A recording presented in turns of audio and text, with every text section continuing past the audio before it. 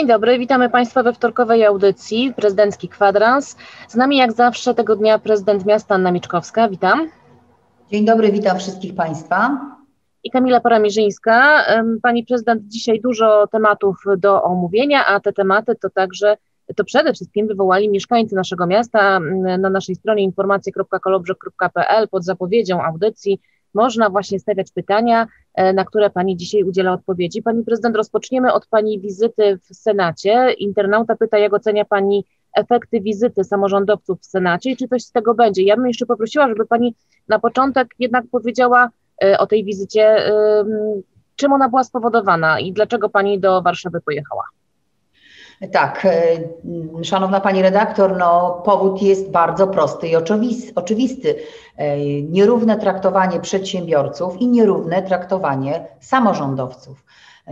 I to są powody, które skłoniły nas, kilkudziesięciu włodarzy gmin nadmorskich, do tego, aby rozpocząć dyskusję na temat wsparcia, jakiego rząd udzielił I bardzo dobrze, że wsparcia udziela, bo dobrze, że rząd polski podjął taką decyzję i że mm, wspiera, chce wspierać gminy. Tylko pytanie rodzi się następujące: dlaczego chce wspierać samorządy tylko i wyłącznie te, które leżą 500 metrów nad poziomem morza?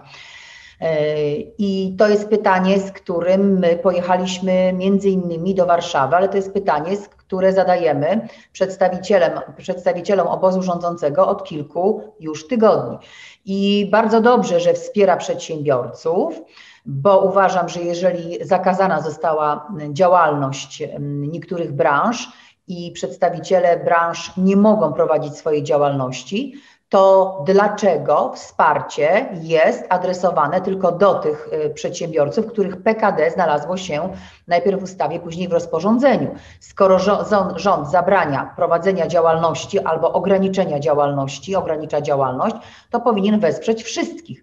Więc y, dlatego pojechaliśmy do Warszawy, zostaliśmy zaproszeni, y, zresztą y, przez, na, z naszej inicjatywy to zaproszenie zostało do nas wysłane na komisję senacką i tam przedstawiliśmy nasze bolączki. Ale jak się okazało na spotkaniu, byli nie tylko przedstawiciele gmin nadmorskich, ale byli tam również przedstawiciele gmin położonych na południu Polski bo ci, którzy, których miejscowości są położone poniżej 500 metrów nad poziomem morza, również nie dostąpili tego zaszczytu i również nie otrzymali takiego wsparcia.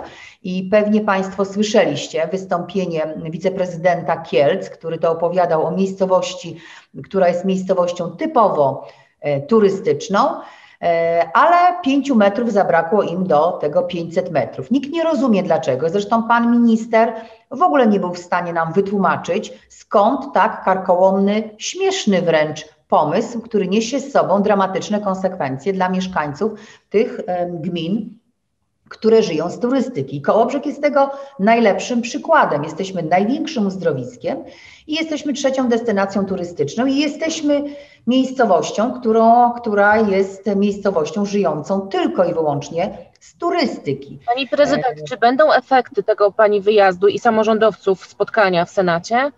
My od dłuższego czasu już upominamy się o nasze prawo do równego traktowania, ale i upominamy się bardzo mocno o naszych przedsiębiorców. Ja jeszcze raz powtórzę, to, że otrzymali wsparcie niektórzy przedstawiciele branży y, turystycznej, to nie oznacza, że w takich miejscowościach jak Kołobrzeg, i ja to mocno artykułowałam, jak nie ma turystów, jak nie ma kuracjuszy, to cierpią nie tylko hotele, apartamenty, pensjonaty, ale tu również nie zarobią taksówkarze, piekarze, kosmetyczki, fryzjerzy. I tego pan, pre, pan premier nie chce usłyszeć, a tego pan minister podczas posiedzenia komisji nie chciał zrozumieć.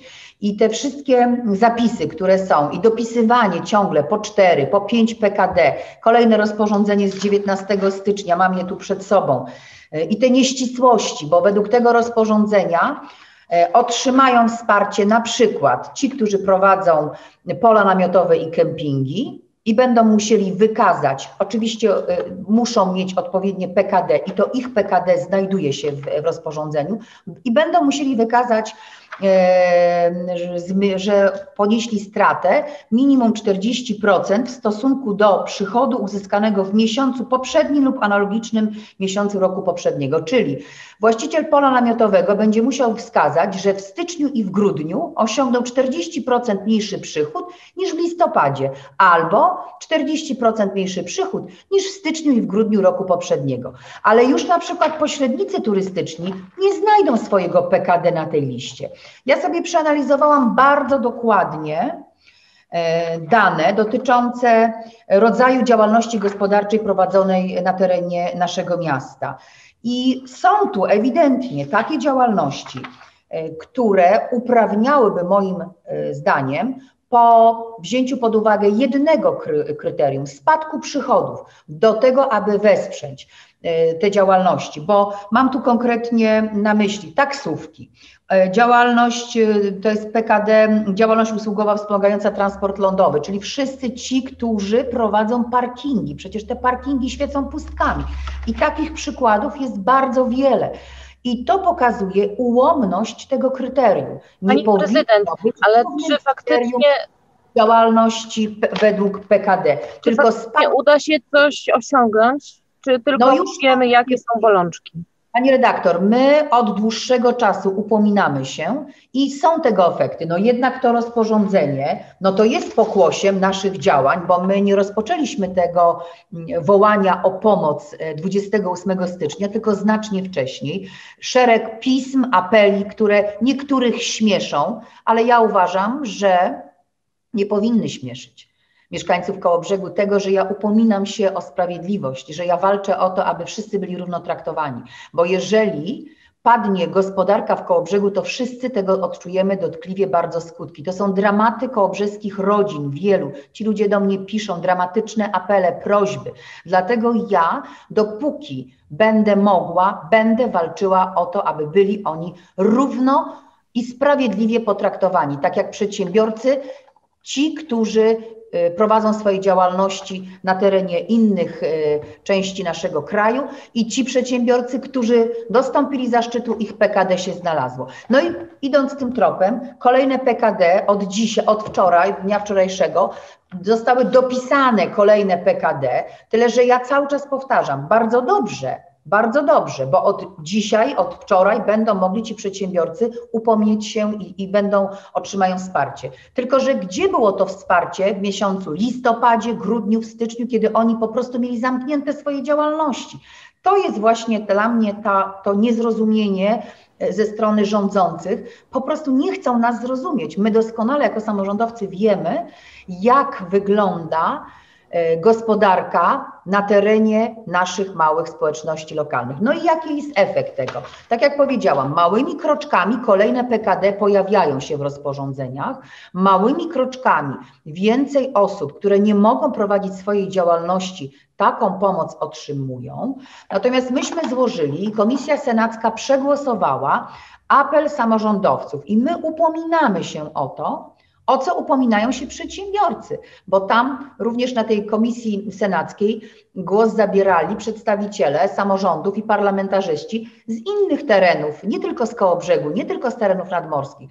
I bardzo mocno wybrzmiał głos jednego z posłów, który wypowiadał się w imieniu przedsiębiorców prowadzących swoją działalność na terenie powiatu gryfickiego i Kamińskiego, który powiedział, on również jest przedsiębiorcą i powiedział: My już niczego od Was nie chcemy. My chcemy tylko móc prowadzić swoją działalność. Chcemy otworzyć w reżimie sanitarnym nasze hotele, pensjonaty, bo uważamy, że my zrobimy to bezpiecznie. Bo jeżeli otwiera się galerie handlowe, jeżeli otwiera się szkoły, na przykład, gdzie uczniowie są skupieni w salach lekcyjnych i słyszę, że kolejne e, oddziały będą otwierane, to dlaczego nie można otworzyć hotelu przy zachowaniu reżimu sanitarnego, przy zachowaniu zasad bezpieczeństwa? Dlaczego ci ludzie nie mogą prowadzić działalności? Oni dzisiaj nie musieliby nikogo prosić o pomoc, ani rządu, ani samorządu, gdyby po prostu była e, jednoznacznie też określony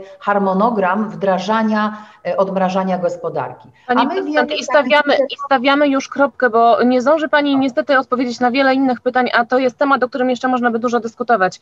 Kiedy będzie... To nie jest moje ostatnie i moich kolegów samorządowców zdanie, bo oczywiście czekamy teraz na to, jaki będzie efekt tego apelu. Wykazali się, senatorowie wykazali się naprawdę wielkim zrozumieniem.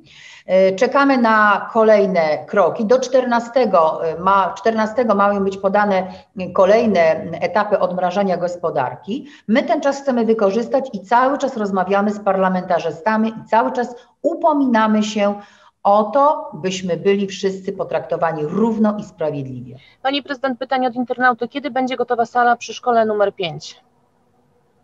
Proszę Państwa, wczoraj podpisałam umowę na salę gimnastyczną e, w szkole numer 5. Jestem, nie ukrywam, że jestem bardzo z tego powodu e, szczęśliwa, bo jest to temat, z którym dotychczas no, nikt się nie zmierzył. E, było wiele obaw. E, wczoraj rozmawiałam z pracownikami tej szkoły, z wykonawcami. Oni również mówili, że do momentu, dopóki nie została podpisana umowa, to oni tak naprawdę cieszyli się, ale nie do końca, bo cały czas gdzieś zastanawiali się, skoro tyle przez tyle lat nikt nie zwrócił uwagi na to, że są również w tej szkole potrzeby, a jest to szkoła, pamiętamy wszyscy, o, na, która jest szkołą wyjątkową, bo uczęszczają tam do, na zajęcia uczniowie z niepełnosprawnościami. To mieli obawy, czy aby na pewno dotrzymam słowa i ta sala będzie, będzie realizowana. Ale już mamy tak, podpisaną umowę. E, I tu jest dobra też wiadomość e, dla nas wszystkich, bo w dobie pandemii i kryzysu, który zaczyna e, no, mocno nam zaglądać do okien, okazuje się, że przetarg, który został rozstrzygnięty, mieliśmy tam zaplanowaną kwotę 8,5 miliona, a przetarg został rozstrzygnięty na kwotę 4 miliony 777 777 zł, więc mamy spore oszczędności. To bardzo dobrze, bo będziemy mogli realizować jeszcze inne inwestycje. E, no i e, termin wykonania podany jest jako 25 sierpnia 2022 roku, czyli jeżeli wszystko pójdzie zgodnie z planem, to rok szkolny 2022-2023 e, będzie to rok szkolny już, gdzie uczniowie będą mogli korzystać z nowej sali gimnastycznej dostosowanej do potrzeb osób z niepełnosprawnościami. Pani Zaczynamy. Myślę, że y, panowie powiedzieli, że w połowie lutego już y, będzie przekazanie placu i rozpoczną się takie drobne prace, które muszą wykonać i no, w miarę upływu czasu będziemy obserwowali, będziemy przyglądali się, jak te prace postępują. Ta firma, ten wykonawca jest wykonawcą, który przekazał już nam gotowe przedszkole miejskie numer 4, więc mamy bardzo dobre doświadczenia ze współpracy z tym wykonawcą i myślę, że myślę, że że będzie również i w tym przypadku wykaże się dużą sprawnością w działaniu. Więc no, trzymamy mocno kciuki. I to dobra wiadomość dla, dla mieszkańców dzielnicy zachodniej. No, sala gimnastyczna będzie się budowała. To już jest fakt, tego już nikt nie zmieni. Pani prezydent, czy to prawda, co pisze pan Woźniak, że nie zostały jeszcze ogłoszone konkursy w ramach miejskiego programu profilaktyki i rozwiązywania problemów alkoholowych na 2021 rok? No to oznacza, pani redaktor, że ten pan radny nie śledzi tego, co dzieje się w urzędzie miasta, a powinien. Zamiast e, pisać dramatyczne interpelacje, powinien zerknąć na naszą stronę. Gdyby przeczytał ogłoszenia, to zorientowałby się, że na pięć zadań, które są zadaniami mm, e, przeznaczonymi do realizacji na ten rok, Cztery, y, cztery zostały już, konkursy zostały ogłoszone, wpłynęły oferty i to te konkursy były ogłaszane. 8, y, jeden, pierwszy był ogłoszony na wspieranie rodziny i systemy pieczy zastępczej 11 grudnia. Oferty wpływały do 4 stycznia. Kolejne były, y, były 18 grudnia i rozstrzygnięte 14 stycznia. E, w tym tygodniu powołana zostanie komisja konkursowa. Trochę COVID utrudnia nam pracę, bo jednak można było, no, no, utrudniony jest ten kontakt bezpośredni, ale w niczym nie odbiegamy do lat ubiegłych. Te konkursy zawsze były rozstrzygane na przełomie stycznia i lutego. E, działania e, będą realizowane. O tym, kto będzie mm, szczęśliwym beneficjentem środków, które są przeznaczone, no oczywiście rozstrzygnie komisja konkursowa, a jeden z tych konkursów, jeden z tych zadań przeciwdziałania uzależnieniom i patologiom społecznym e, spośród ośmiu zadań, dwa zostały już też ogłoszone, zbierać będziemy oferty, pozostałe będą rozstrzygane e, w kolejnych e, dniach, więc wszystko dzieje się, niczego nie zaniechaliśmy, ba, nawet więcej powiem, w ubiegłym roku na te zadania, zadania ze środków Miejskiego Programu Profilaktyki i Rozwiązywania Problemów Alkoholowych przeznaczyliśmy kwotę 440 tysięcy. Na, przysz, na ten rok, na rok 2021 dołożyliśmy ponad 60 tysięcy i tym samym mamy do wykorzystania na te działania z zakresu polityki społecznej e, i profilaktyki kwotę 505 tysięcy, e, więc no, trochę cierpliwości, trochę wyrozumiałości, też tak tytułem może usprawiedliwienia, wydział czteroosobowy na co dzień e, był taki moment, że e, pracował jako jednoosobowy, bo akurat tam były przypadki zachorowania na COVID-19, więc myślę, że mm, nasz pełnomocnik wywiązał się z tych zadań. Gdyby nie COVID, pewnie te zadania byłyby, pewnie te, mm, to ostatnie zadanie byłoby już też ogłoszone, ale naprawdę proszę się nie niepokoić, zadania będą realizowane. Też trzeba wziąć sobie mm, i zastanowić się chwilę, czy wszystkie z tych zadań mogłyby być realizowane teraz w styczniu.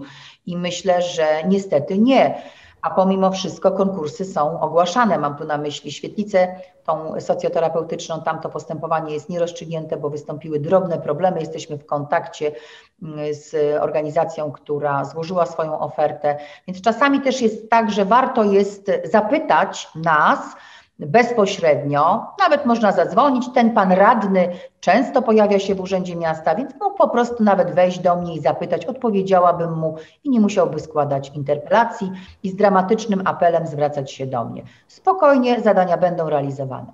Pani prezydent, te oświetlice teraz. Pyta internauta, czy miasto planuje budowę świetlicy dla starszych osób w dzielnicy zachodniej? Kiedyś był taki temat. Czy są jakieś decyzje w tej sprawie? Czy jest szansa, że coś tam będzie dla mieszkańców?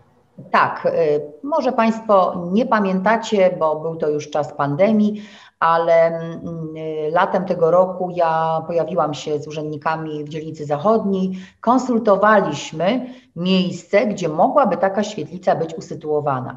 W ogóle w dzielnicy zachodniej nie ma miejsca, gdzie seniorzy mogliby się spotykać, ale również jest problem z miejscem dla najmłodszych mieszkańców dzielnicy zachodniej. Pamiętacie Państwo, był problem, tam ta stara świetlica była zalana, e, prace, które były tam wykonane są pracami niewystarczającymi w moim odczuciu do tego, aby można było przywrócić tam funkcjonowanie. Zresztą to pomieszczenie jest małe i takie już nieprzystające do, do, do standardów XXI wieku i uzgodniliśmy, że taka świetlica może, mogłaby być usytuowana zdaniem mieszkańców przy rogu ulicy Wylotowej i Jedności. Jest tam miejsce do tego celu e, przeznaczone.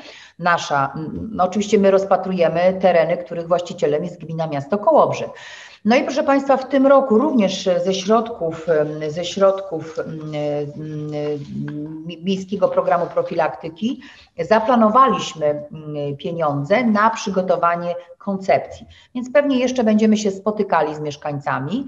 E, no, czekam też no, no, na ten bezpośredni kontakt, bo bardzo zależałoby mi, żeby po prostu zaprosić nawet gdzieś do, do sali gimnastycznej w szkole numer 5, czy tu do mnie, do sali, do, do ratusza, spotkać się z seniorami i przedyskutować, jak oni chcieliby, aby ta świetlica wyglądała. Natomiast jedno, co jest pewne, to również takie były sugestie radnych, aby budując takie miejsca, tworząc takie miejsca e, spędzania czasu wolnego, były to miejsca e, międzypokoleniowe, takie integrujące e, młodzież i seniorów. I w takim właśnie w takim właśnie stylu chcielibyśmy, aby ta świetlica e, prowadziła swoją działalność. Czyli w tym roku, już tak podsumowując, mamy, mamy, chcemy przygotować koncepcję po to, by w kolejnych latach, jeśli oczywiście pozwoli na to nam sytuacja budżetowa, aby w kolejnych latach mm, e, no, myślę, że kolejnym roku, taki był plan przynajmniej, że w 2022 roku e, podjęlibyśmy się tego zadania i w dzielnicy zachodniej również powstałaby świetlica. Przypomnę, ogrody doczekały się takiego tak, miejsca. Będzie w tym roku budowa. Pani prezydent, na sam koniec, ostatnie pytanie, które e, Ja powiem to, choć niektórym się być może na razie, że mnie mierzi, ale e, jest ono do Pani skierowane, dlatego też zapytam, dlaczego wspiera Pani Owsiaka, który popiera aborcję? Wspierałam, wspieram i wspierać będę.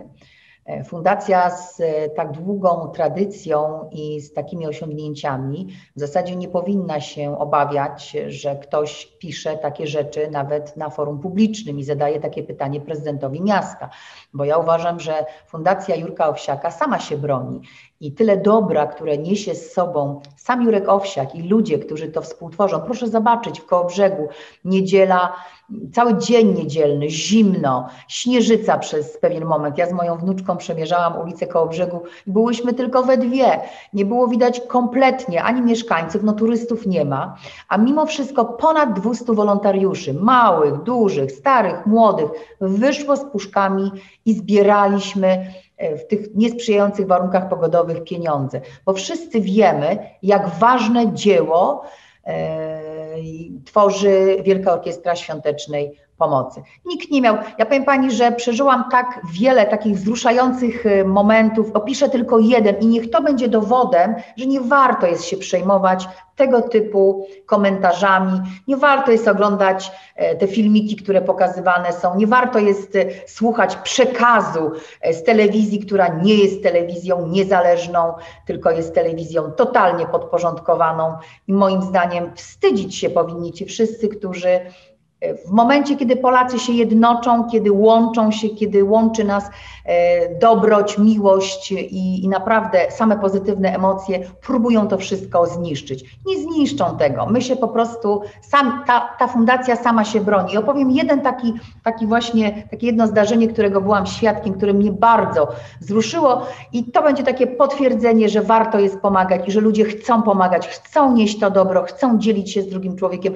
Ja, ponieważ Y, no, też uczestniczyłam w światowym zlocie y, morsów i po morsowaniu przerwałam trochę tą moją wędrówkę po mieście i kiedy y, po, po południu podjechałam tu pod urząd miasta i przechodziłam przez przejście, bo zamierzałam udać się na plac ratuszowy, bo tam jeszcze no, widziałam, że ludzie spacerują, więc miałam nadzieję, że jeszcze uda mi się tam trochę dozbierać pieniędzy.